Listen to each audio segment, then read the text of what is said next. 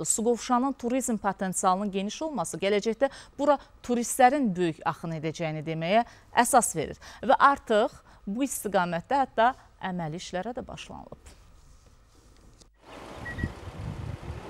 1970-ci illərdə ümumilli lider Heydər Əliyevin təşəbbüsü ilə tikilən Suqovuşan su anbarının ətrafında yaradılan istirahət parkı 7,5 hektar ərazini əhatə edir. Park salınarkən ərazinin təbii relyefi qorunub, ərazidə uşaqlar üçün əyləncə meydanı quraşdırılıb.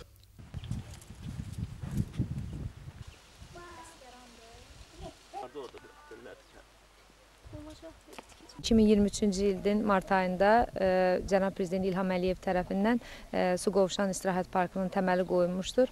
Elə həmin e, gündən başlayaraq Dövlət Turizm Agentliyi tərəfindən İstirahət Parkında işlərə başlanılmışdır və hal-hazırda artıq İstirahət Parkının belə deyə hazır vəziyyətindən, yəni birinci mərhələsinin hazır və, vəziyyəti ilə tanış olursunuz. İstirahət Parkında turizm informasiya mərkəzi və onun tərkibində kafe Eyni zamanda avtodayanacaq, bundan başda estakada söhbətgahlar qurlaşdırılmışdır.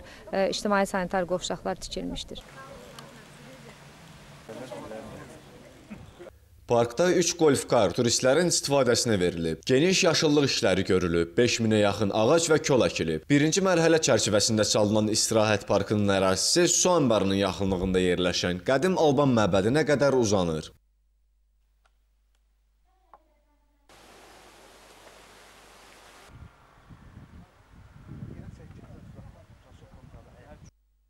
Anbarın ətrafında yerləşən bayraq meydanı isə park adaptasiya olunacaq. Suqovuşan su anbarı 96 min hektardan çox torpaq sahəsinin su təminatında rol oynayır. Qəsəbənin 22 kilometr məsafədə yerləşən Naftalan şəhərinin turizm potensialı nəzərə alınaraq vahid turizm məkanına çevrilməsi nəzərdə tutulub.